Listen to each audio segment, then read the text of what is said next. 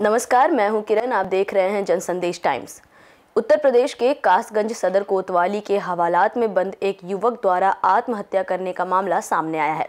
बताया जा रहा है कि एक लड़की को भगाने के आरोप में युवक को पूछताछ के लिए एक दिन पहले पुलिस ने उठाया था। आत्महत्या की घटना के बाद पुलिस महकमे में हड़कंप मच गया। वहीं इस घटना के बाद मृतक के परिवार में कोहराम मचा हुआ है। एसपी ने लापरवाही के आरोप में इंस्पेक्टर मुंशी सहित पाँच पुलिसकर्मियों को सस्पेंड कर दिया है। दरअसल मृतक युवक की शिनाख्त सदर कोतवाली क्षेत्र के नगला सैयद अहरौली निवासी अल्ताफ के रूप में हुई है।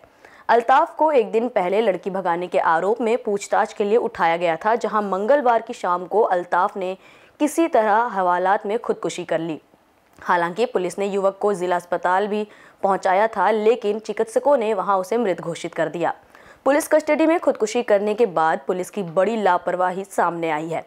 इस घटना के बाद पुलिस महकमे में बहुत ज़्यादा हड़कंप का माहौल देखने को मिला। तो वहीं पुलिस के प्रति ग्रामीणों में खासा गुस्सा पनप रहा है। एसपी रोहन प्रमोद बोत्रे ने इंस्पेक्टर सहित पाँच पुलिसकर्मियों को सस्पेंड कर दिया है। मृतक अल्ताफ मियाँ के पिता का कहना है कि उन्होंने कल, यानी सोमवार की शाम, आठ बजे लड़की भगाने के शक में पुलिस के पहुँचने पर खुद अपने हाथों से अपने बच्चे को पकड़ कर पुलिस को सौंप दिया था। उन्होंने बताया कि जब वे दोबारा चौकी पर गए तो पुलिस वालों ने उन्हें फटकार कर भगा दिया।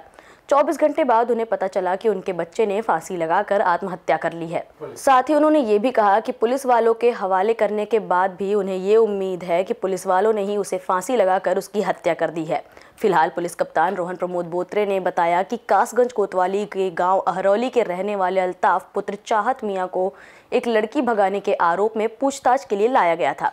जब पुलिस उससे पूछताछ कर रही थी, तभी उसने पुलिसकर्मी से बाथरूम जाने की बात कही। पुलिसकर्मी ने उसे हवालात के अंदर बने बाथरूम में भेज दिया। थोड़ी देर तक बाहर ना आने के बाद जब कर्मचारी ने जाकर देखा तो उसने अपनी जैकेट में लगी टोपी को डोरी से बांधकर अपना गला कस लिया था। वहाँ मौजूद कर्मचारियों ने बताया कि उक्त अभियुक्त के गले से डोरी खोलकर तत्काल उसे अस्पताल ले जाया गया, जहाँ पर कुछ देर उपचार होने के बाद ही उसकी मृत्यु हो गई। जाँच के दौरान प्रथम दृष्टया लापरवाही बरतने के आरोप में पाँच पुलिसकर्मियों को निलंबित किया गया है। सर एक कोतवाली कासगंज में एक अभियुक्त की मृत्यु हुई है क्या है पूरा मामला?